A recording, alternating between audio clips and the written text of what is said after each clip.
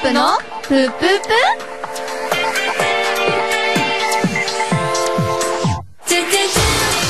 皆さんこんばんは。まいです。みよんです。二人合わせてチェリップですえー、さあ8月22日チェリップのぷぷぷ始まりました。先週と比べてえらい安定感のなさですが、大丈夫でしょうか？始まりました、はい、あーこの番組は休日のひとときをあなたとチェリップでぷぷぷっと過ごす番組です。さあ、今日のテーマ発表しますよ、はいまゆさん。何でしょう今日のテーマは、ファイヤー！ということで、一言お願いしファます。イヤー？マリオじゃん オじゃねえよ。マリオは体力あるときファイヤーで倒すんだよ。ボス。違うよ、ん。ファイヤーが出るのは、あの、うん。燃えるキノコをあ。持って白くなった時だけだよ。え違うよ。ファイヤーで体力あった時に倒いや、せるじゃん。こんな話はいいんですよ。全くこんな話したいわけじゃないんですよ。まあ、とりあえず燃えているわけですよ。うん。で、なぜ燃えているかというのは、まあ、本編で話していきたいと思いますので、今日も最後までよろしくお願いします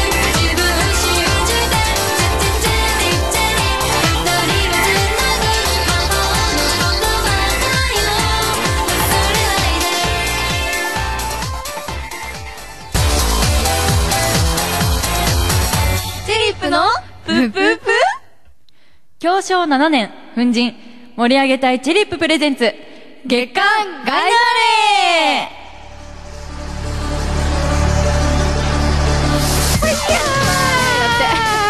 テイク2 2回目なんでいやいやいやいや始まりました。今月もこのコーナー月刊ガイナーレ私たちチェリップはですね、うん。ガイナーレ鳥取さんの盛り上げ隊に任命をしていただきまして、イベントのお手伝いとか催しのお手伝いとか実際にゴール裏でサポーターの皆さんと一緒に応援をしたりしています、で私たちなりの視点でこう、うんガイナーレ鳥取さんについて語っていくという砕いていこうというやつです。ねちょっとそれはよくわかりませんけど、まあ、そういう感じになります、で今のガイナーレうのん。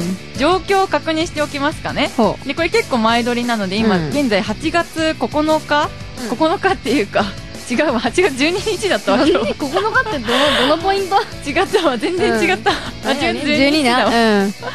12日現在のうんうんお話で、うん。このデータが8月9日って書いてあね。8月9日のデータでじゃあいいじゃんそれ合ってんじゃん。合ってた。合ってた。合ってんじゃん。合ってんじゃん。勝ち点は34の6位であります、うん。はい。6位ね6位。でチーム初の4連勝かなってすごい期待が膨らんでたんですけど、が？4連勝できずに、うん。あまあ、でも3連勝達成したんですようん。でハッピーな気持ちになって、うん。しかも前節はですね首位のレノファ山口さんとですね、うん。ドロー1対1へー。とすごいういい感じの、まあ、波がいい感じに来てますね、4連勝はできなかったという、なんかとっても爽やかな感じであります。ね。でうん。なんとですねそのリーグ J3 のリーグだけじゃなくって明日の23日のね、お昼の3時15時からは鳥取県サッカー選手権大会の決勝大会がありましてこれに立つとか立つとだってこれ何？これに勝つとあ勝つと どっちでもいけるんじゃないの？どっちでもいいじゃん。勝つとですね、うん天皇杯というやつに出れるんですとうんあよ、本当？でこの天皇杯っていうのは、うん。各県の代表たちがバーって出てきて、うん。その J2、J1 のチームを含めて、うんうんうん。でトーナメントでこうどんどん上がっていくので、うん。もうすごいジャイアントキリングって言ってどのチームがもう優勝するかは分かんない,、んすごい地方のチームがもう優勝するかもしれないしっていうすごい天皇杯が始まるわけですよ。へえ前田さんも出たいなそれいや。ーちょっとチェリブ2人なんでね。10ちょあとそれ緊張感あるじゃん。あと9人くらいうん。メンバー確かに。ダメなんですけど。緊張感ある。うん。まあ、緊張感ありますね、うん。っていうその決める、うん。鳥取県代表を決める試合が明日は行われます、ほう。で相手は SC 鳥取ドリームスさんで、うん。トリスタであるんですけど放送がね NHK 鳥取さんでもテレビの中継があったりとかして、こう鳥取県の代表どっちだっていう感じで、うん。みんなが見守るわけですよ。どっちとどっちがあるの？えだからガイナーレの方なんだからガイナーレさんと SC 鳥取ドリームスっていうチームえー、それあれなんだ。戦うんだ戦いますね。こうじゃないんだ。まあそうです。ねあのへー。J2 はあの戦わなくても、うん。その天皇杯に出れる資格があるんですけど、うん。J3 のチームはねあの鳥取県の大会をしないといけないんあですよ。そうなんだ。なので緊張感あるそれ。とあの、うん。ガイナーレが J2 になると鳥取からもう1チーム出れるんですよつまりは。なので、ぜひガイナーレさんには、まあ、今回も勝ってほしいですけど、ね。J2 にぜひ来季上がってもらって、うん。来季頑張って、その次か、うん上がってもらって、こう鳥取サッカーどんどん元気になってほしいなというね。気持ちがありますね。でえ天皇杯は確か観覧が無料なのでマジ？そうそう観覧無料なの？そうですよ。天皇杯ってなんかちょっとお高いイメージだけどな。あの天皇杯っていうかその天皇杯を決める決勝大会鳥取の選手権大会あは観覧が無料なうん、なるほのでどねぜひちょっと応援に、まあ、サッカーを楽しみにね、純粋に行ってほしいなと思います、そして普通の J3 リーグの試合日程なんですけど、はい。一番近いのがちょっと空いて、9月6日の藤枝マイ FC, マイ FC さんとのアウェイの試合で、ほお昼の3時からいやアウェイなので、まあ、ちょっと関東とかでこれを聞いている皆さんで、ちょっと一緒に応援していただける方がいらっしゃったら嬉しいなという気持ちで、うん次回のホームが9月の13日の FC 琉球さんとのホームで夕方の5時からトリスタですね。あーでも夕方だからよかったね。そうだね。ナイターかっこよくない、うんいいいい。イト使うのかっこいいよねか。っこいい。なのでぜひちょっとそのなんか雰囲気独特お昼とは違う雰囲気があるから、ぜひ行ってほしいな。涼しいしね、うん。いやだってお昼からこの時期にやるのは倒れそうになる。でも9月ならまだちょい涼しいかもよ。でもいやまだか。運動会とか思い出してみない、小学校の時の。やばいじゃん舐めてんな舐めてたしかもだってずっと45分とか50分走り続けると思ったら辛いし、無理だわ。応援もねうん、うんもう皆さんの体力とかも心配なので、ちょっとうん水とかしっかりそれこそ持ってほしいなと思いますし、うん。9月の23日の水曜日にはですね、なんと SC 相模原戦が1時からチュスタでやるんですおよ。おそうなの？チュスタうん。米子でも見れるということで、ぜひちょっとね米子いいね。ちょっと鳥取に行くのちょっと遠いかなっていう皆さんも、ぜひ米子の方にね来るので試合が来てほしいなと思いますね、なんかやっぱりねこれ何回も言うんだけど実際うん。にゴール裏とかで見ると違うよね、いや全然違うでしょ。本当に雰囲気なんか前とかミオとかサッカー、今まですごい関わってたわけじゃないんだけど、うん。行ったら全然そんな自分たちでも楽しいってすごい盛り上がるなって心ゴーからル裏一番楽しいでしょ？そうそうそれこそファイヤーって感じ。すごいねなんかうん燃えるんですよね、わかるなんか。わかる。っていう感じなのでぜひちょっと一緒に応援してほしいなと思います、私たちもその一緒に応援したりとかガイナマンのガイナバスターとかに参加しているので、ね。ぜひ私たちを見かけたら声をかけていただくとか、うん。そういう楽しみでもいいのでまずはちょっとスタジアムに来ていただけると嬉しいなと思います。それではちょっとねメラメラしたラテン系の曲でかっこいいやつをここで一発かけていこうと思います。東京女子流さんで「ネバーエバーチェリップのプープープさあさあチェリップもね頑張らねばなりませんね、はい。なんか応援のねファックスをいただいたんですよ。で名前がなくて誰って紹介できないんですけど、すごい可愛いイラスト付きで、チェリップのイベントとかもまとめ実てくださってすごい可愛い。でチェリップさんへ「ゴッドスマイルチェリップ」って書いてあって、うん。神がチェリップに微笑んでくれるらしいのでやっとねちょっと頑張ろう、うん。チェリップもっていう気持ちでガイナーレ3連勝とか、うん。すごいすごい可愛いよね。神なんじゃない？もしかしてこの人。あこの人？この人神神だね、うん。この人微笑んでんで多分そういうことか。そうそうそうゴッドって自分って私があなたたちに微笑んでるよって。いうそういうことか、うん。では神様ありがとうございます、うん本当に頑張らせていただきますというこぜひあのゴッドがあの、うん。ペンネームでなければ、ぜひペンネームなども添えていただけると嬉しいなと思います、せっかくだからまゆさんあ、れでしょ、はいメッセージの宛先今日ちょっといつもと違うんだけど言える？えーっと貼ってねないんだけど。ファックスは798違う違う違う違う。え違う違う違う。なんで合ってるでしょ。えー、798あったら FM.com とかそれファッじゃなかった？クスじゃないよ。合ってるでしょ？メール？あ、メールね。は、798アットダラズ FM.com。め、電話は、電あ話、今カンペ待ってるんですけど。電話はね、わかりません。すごいリアルタイムの。ちょっと待って。あ来うたわー。0859の。0859の21の7878です。これ今なんだ？これファックスか。ファックスです。ファックスです。ファックスです。送ってください。送ってください。ぜひね、うん。なんかこれいいね。手書きの温かさっていうのもやっぱあると思うので、うん嬉しいな。ありがとうございます、うん。ではメッセージの方で、あメールの方で届いたメッセージも読んでいきましょう。はい、ラジオネームアニメと野球を愛する米子人さんです。ありがとうございます。まいちゃん、みおんちゃん、こんばんは。こんばんは。僕は現在8月9日午後9時、港山公園にいます。うん米子ガイナ祭り、花火大会が終わり、ガイナ太鼓のステージが終わった後にメールをしています。まいちゃん、みおんちゃんはこの日は神戸にいたので、羨ましかったと思いますね。あ、あなたが？そういうことね。あなたが？ああ8月8日土曜日のガイナ祭り初日の意味、テージお疲れ様でした。うん。僕はこの日は午後8時頃まで仕事をしていたのでお、疲れ様でした。チェリップのステージを見ることができませんでした。うん。ただガイナーマントパレードは見ました。チェリップはこのところ県外でのライブが増え、久しぶりの米子でのステージ、それはガイナ祭りでしたね。うん。やはりガイナ祭りは特別なステージですよね。今年のガイナ祭りのゲストの鉄トモとジルさんのステージも見ましたよ。とても楽しかったです。だって。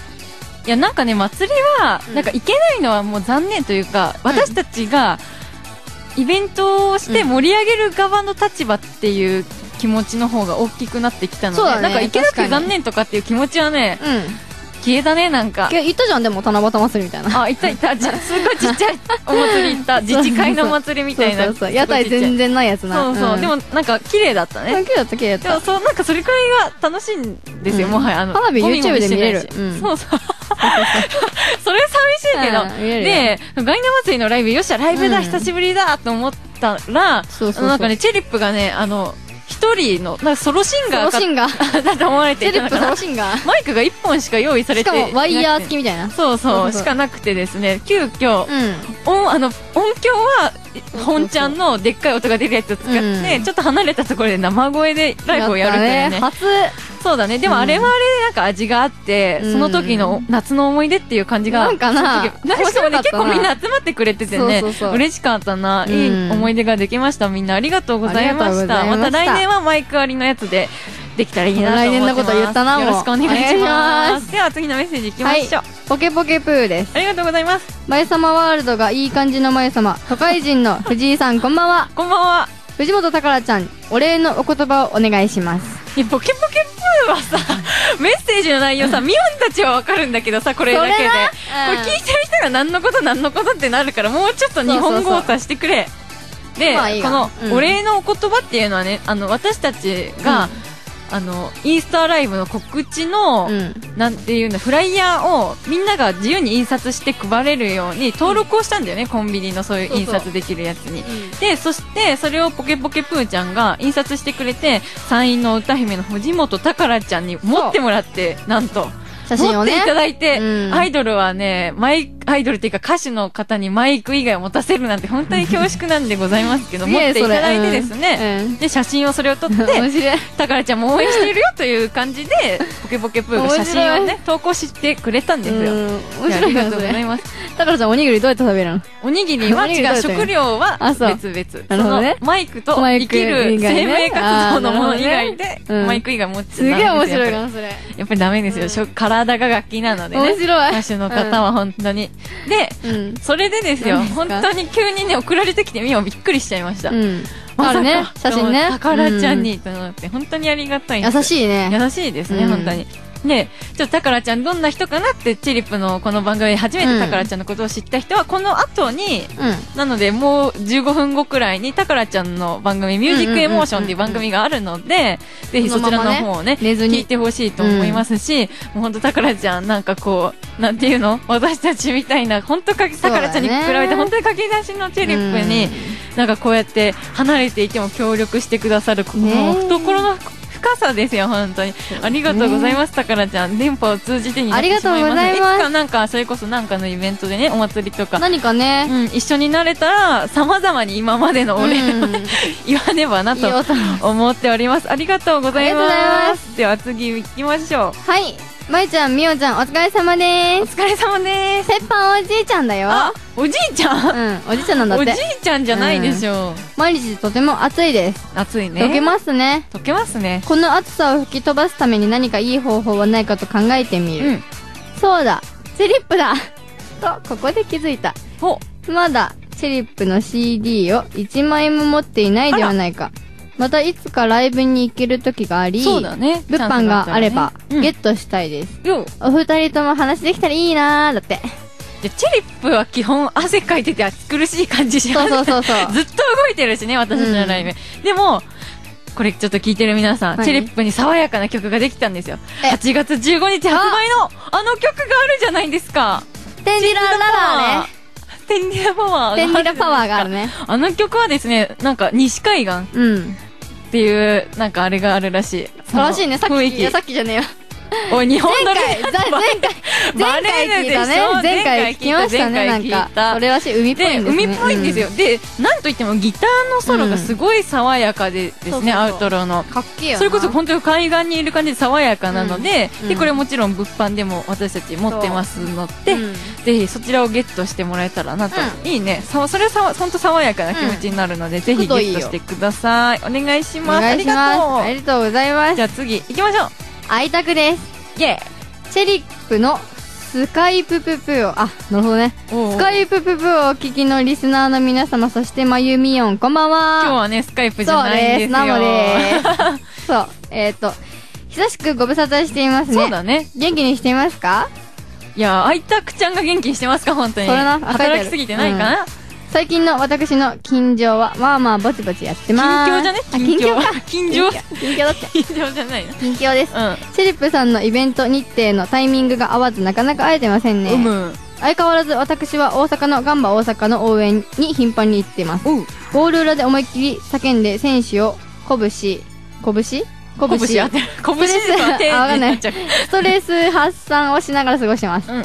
改めて、サード C で、おい、読みにくい。サード C でって書いてある。発売おめでとうありがとうございますいろいろな縁と努力が実を結んだ結果です。うん君たちは本当に縁に恵まれているね本当。そうだねこれからも頑張ってください。また近いうちに会えることを願って。ありがとうございましたありがとうだって。いやねこの今メールを送ってくれたあいたくちゃんはですね、こうチェリップのチャレンジ時期にすごいチェリップを支えてくれてですねそれな。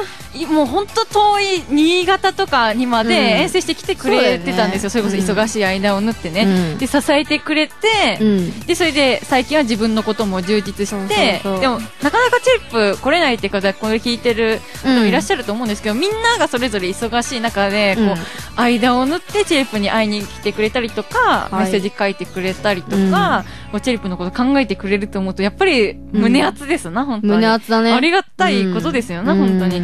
うんなので、なんていうのかな、今は、うんそれこそサードシングルで、はい。全国流通したやつでみんなにこう、お返ししていけたらなという気持ちでね、うんいっぱいでありますので、サードシングルとチェリップよろしくお願いします。皆さん。たくちゃん、ありがとう。いろんな人に聞いてほしいね。そうだね。うんということで、まあ、ここで新曲流そうって流れない流れ、流れてきですけどそうだよね流れませんうんわかるわかる。ミオンが流したい、うんそれこそファイヤー、メラメラ系の、うんこれもラテン系の感じでわかっこいいやつをね、うん。流していきたいと思います。それでは、聴いてください。ワイドールさんで、アイマイムーン。さあ、チリップもメラメラと頑張らねばなりません。ということで、ええ明日のイベントをね、お知らせします。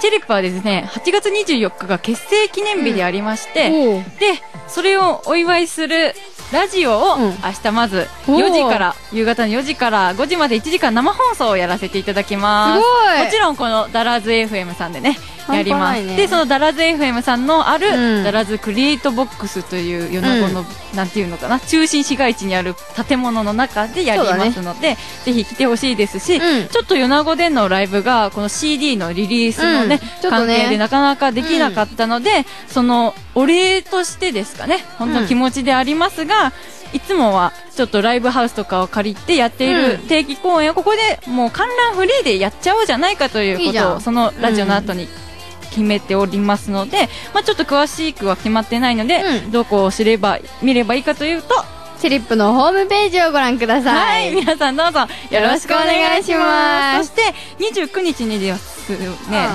なんとあの有岡倉敷さんで岡山ですね。そうだそうだ。これもなんとライブリリースイベントですね、もうこれは。これも観覧無料で夕方の5時から決まっておりますので、おいい時間うん合わせて観覧無料なので絶対絶対だ絶対 絶対。絶対、うん。せっかくなのでと絶対見に来てほしいなと思いますし、ん。9月の3日から9月の6日まではですねセプテンバープロジェクトといってチェリップが東京に長期遠征することも決まっていますのでうん。ぜひぜひこのなんていうのかな？はい。中四国とかうん。関西以外の方もちょっと楽しみにしていただけると嬉しいなと思います。はーい。では、今日はこの辺で眠ろうと思います。せーの、おやすみなさい。バイです。イオンです。二人合わせてチェリップでした。バイバイ。